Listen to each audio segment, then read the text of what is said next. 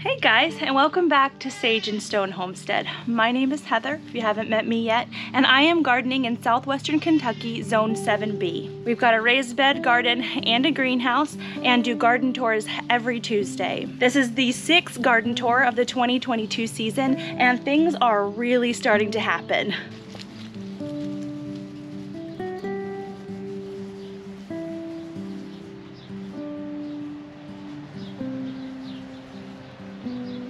The tomatoes here in the greenhouse are starting to yellow a little bit. This is the first yellowing that I have seen since we really started growing in here.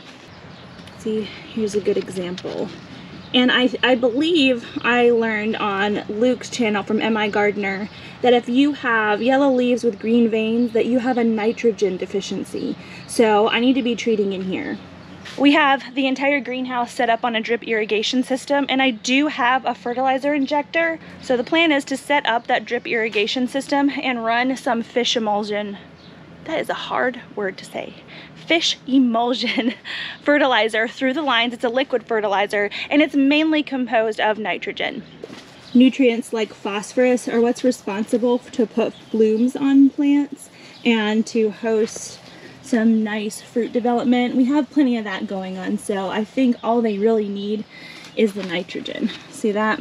And though really the main point of tomatoes is the fruit and not the leaves, the leaves do need to be healthy in order to transfer good energy from the sun into the fruit development. So we've got to take care of the entire plant, not just the part that we harvest. Do you see how these plants, these peppers, are much taller than these peppers down here? The ones back here are actually jalapenos, and down here is some overflow that I had from our green pepper row. So down here, these guys are just regular old green bell peppers. I completely forgot that I stuck the extras in the jalapeno row. Until they started putting on their fruit, I could really tell. See that little guy in there? That is not a jalapeno. These, however, those are jalapenos. See?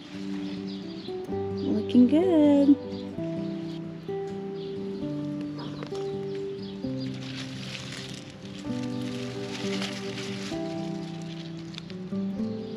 Look at how neat these are, guys. The different colors that you see on this plant aren't related to nutrient deficiencies. This is actually a variegated pepper. The neat color differences that you see on here are just part of the genetics.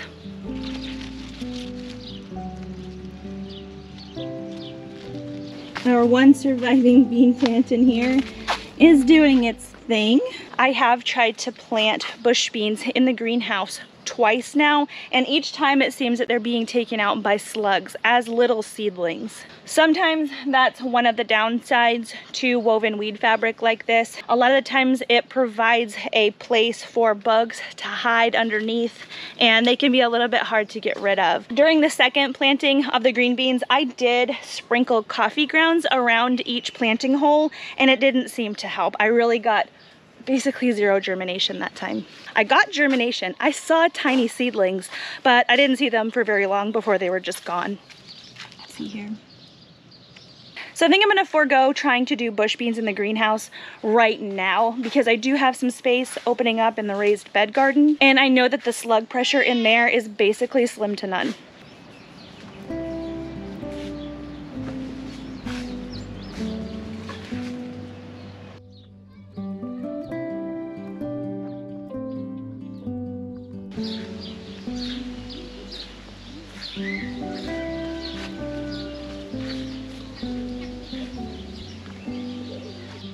The bed that I can open up in order to give some space for bush beans in the garden. This week we have high temperatures topping out at 99 degrees Fahrenheit and there's really no sense in taking any brassica through that temperature. It's just gonna trigger them to flower. Our purple cabbages here are not as big as I would like, but it looks like we're not gonna have any time to really get them to grow any bigger before the hot weather hits. Actually got way more cabbage this year than I have in years prior. So these smaller heads are really no big deal. See, not too bad really.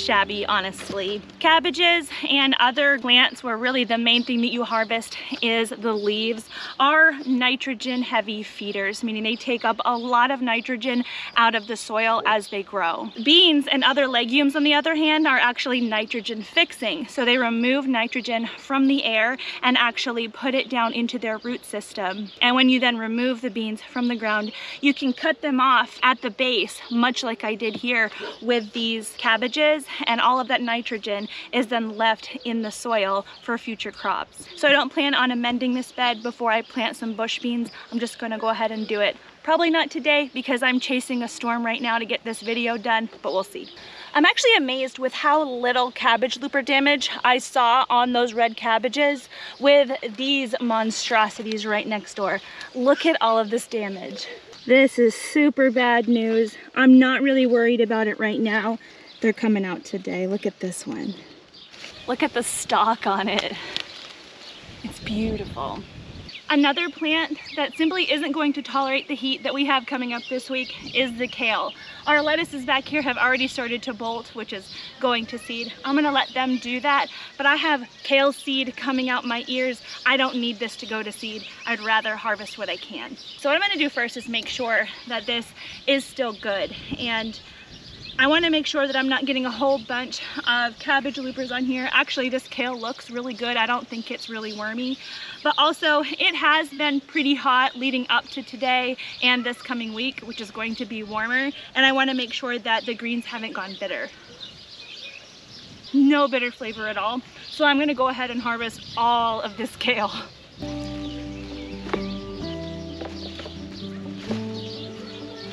All I'm really doing is basically taking the center of the stalk and twisting it and snapping off the more tender inner leaves. Most of these outer leaves are probably also fine to eat, but sometimes as they get bigger, they get tougher and there's so much kale here that I don't think I really have to be picky. So what's left in the garden now are really things that I could use some seed from, like this spinach and some lettuces and then this here is Swiss chard.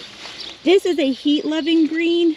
It is experiencing a little bit of bug damage, but I'd like to see how it does once I get the rest of this kale removed. It might bounce back.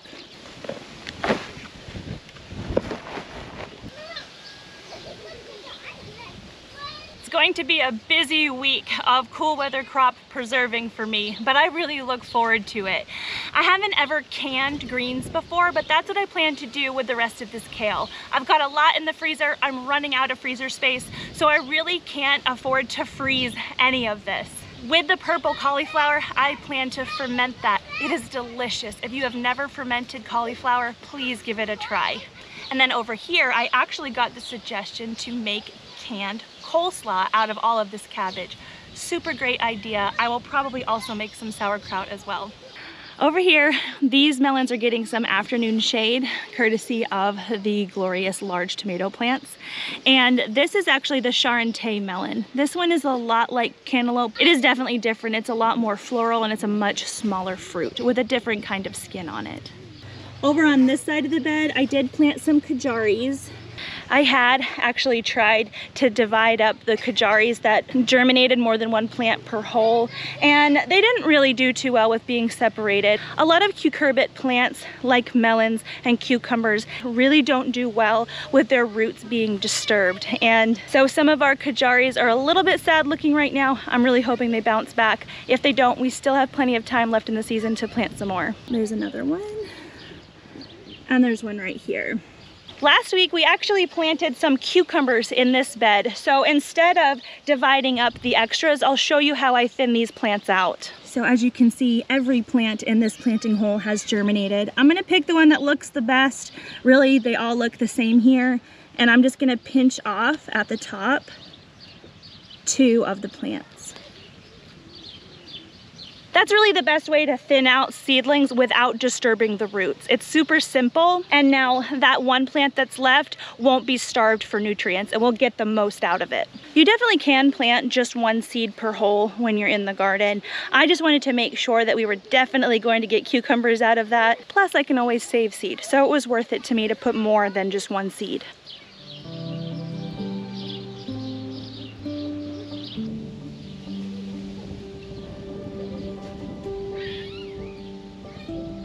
I think it was in the last video where I stood here and I said, the tomatoes are getting really tall and it was basically the same height as me. Now I can barely touch the top. this plant has grown at least 18 inches in one week. That's insane. And they're at the point where we're even getting some little tomatoes at eye level, which is always fun when you have your tomatoes on a trellis like this. And some of the big ones are sure getting big.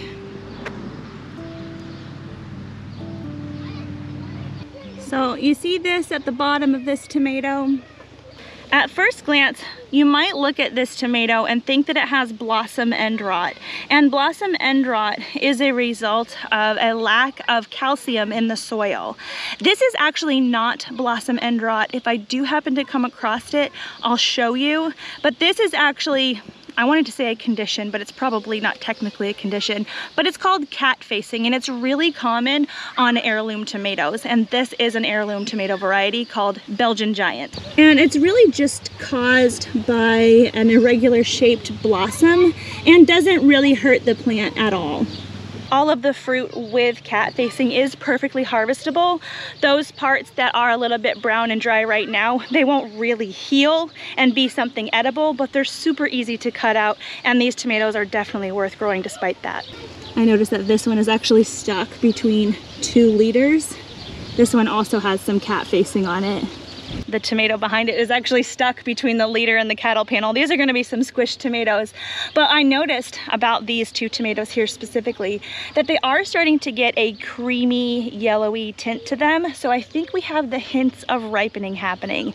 So they are starting to soften up a little bit. So it shouldn't be long now and we'll be harvesting tomatoes usually every year. The first type of tomato that we have to ripen is a cherry type. I don't know if these are technically cherry or plum varieties. They're quite large. These are the black strawberry tomato. And then we have more Brad's Atomic Grape. Oh, it fell off. Definitely not ready yet. Not bad at by any means. Super good. Definitely needs some time to ripen. Blackberries are still coming along. Isn't this onion blossom so neat? Wow. That is a very odd combination of oniony and floral. You just have to smell it to understand it. I don't know if I like it or not. Look what I saw. I actually thought the bee balm was supposed to be red. I have seen a lot of hummingbirds in the garden and I imagine that this bee balm is gonna be their favorite. This smells so much better than the onion bloom. Check out the flower cluster on this elderberry plant. This is awesome and I can't wait until this whole thing is all berries. I might have to try to net them away from the birds, but we'll see what happens. The smells keep getting better.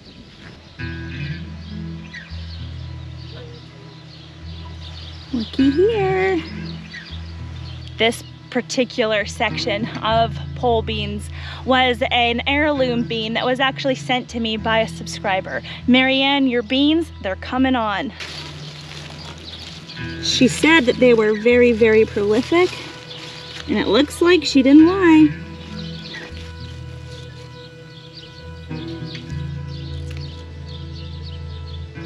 In the throes of bean harvesting season, we are out here getting buckets and buckets full of beans every two days. These beans have such a lovely, light, crisp, very sweet flavor. There's no strings in them at all. Sometimes the downfall of a lot of pole bean varieties is that they have this really hard, tough string that goes down the seam of each side of the bean these are not doing that to me. These are wonderful.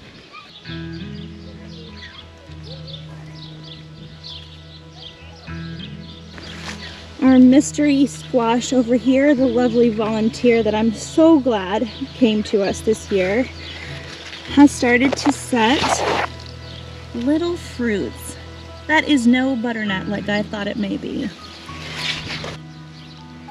There's one there. And there's quite a few in here. I'm kind of hoping it's a sweet meat variety of pumpkin that I planted a couple years ago, but I don't know. We're just gonna have to wait. I have been coming through here and searching just about every morning for squash bugs and squash bug eggs it can be a pretty daunting task to try to look under and on top of each leaf. Generally, the squash bugs like the lower leaves to lay their eggs, but I have seen squash bug eggs on some of the upper leaves as well. You can just brush the eggs off. I just remove the entire leaf and get the leaf as far away from the squash plant as possible. More than squash bugs, our biggest problem with squash here is the squash vine borer, and those actually lay a very similar similarly shaped and colored egg, but it's a single egg and it's usually along the stem. I haven't seen those yet and I'm crossing my fingers that they don't come, but I just know that that's not realistic. We're going to see those at some point because our volunteer plant here did volunteer amidst some strawberries, I'm wondering if the strawberry leaves here are going to confuse the squash vine borer. I haven't seen any eggs or damage yet.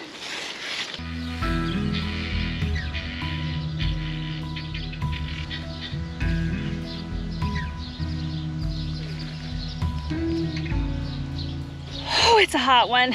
Thank you so much for joining me in the garden again this week. Next week, hopefully we'll be able to harvest some ripe cherry tomatoes, fingers crossed, and some beans. To stay in the loop, make sure that you've subscribed to the channel and turned on notifications. And if you'd like to catch up on what's been going on this garden season, here's the Tour Tuesday playlist.